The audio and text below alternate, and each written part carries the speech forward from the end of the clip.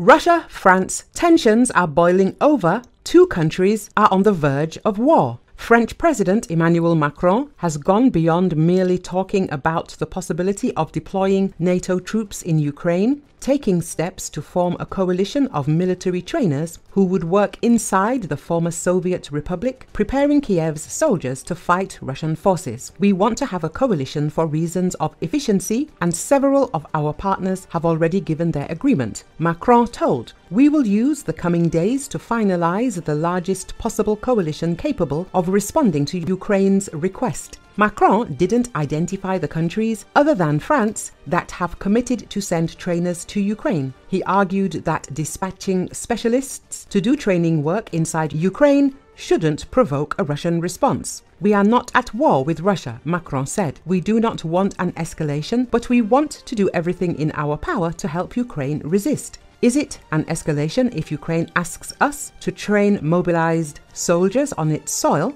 That does not mean deploying people, European or Allied soldiers on the front line. French forces have already trained around 10,000 Ukrainian troops in France and other NATO countries. Russian officials have repeatedly warned that any foreign military personnel in Ukraine would be considered legitimate targets for attack, regardless of their duties and locations. The Russian Foreign Ministry said Macron's belligerent rhetoric and provocative statements had escalated the Ukraine crisis. Given Macron's previous somewhat softer approach to Russia from the build up to and the early years of the war in Ukraine, it has been a bit of a surprise to see his volte-face to now become one of the more hawkish voices in NATO, William Freer a research fellow with the UK based Council on Geostrategy think tank, told Newsweek. It does seem that the Kremlin has not taken this change well, he added.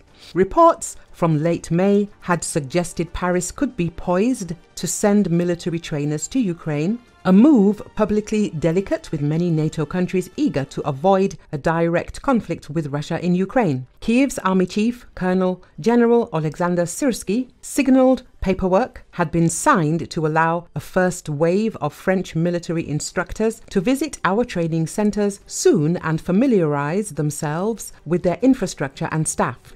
Kremlin spokesperson Dmitry Peskov said in remarks reported by Russian state media that all instructors who train Ukrainian troops have no immunity from Russian strikes, whether they are French or not. If you send your soldiers, your specialists, your instructors to Ukrainian soil so that they can train Ukrainian soldiers to better target and kill the Russians, they will naturally constitute a legitimate target. Alexander Makogonov, a spokesperson for Russia's embassy in France told French broadcaster BFM TV. These are outrageous statements that will not go unanswered. French Foreign Ministry Deputy Spokesperson Christophe Lemoine reportedly said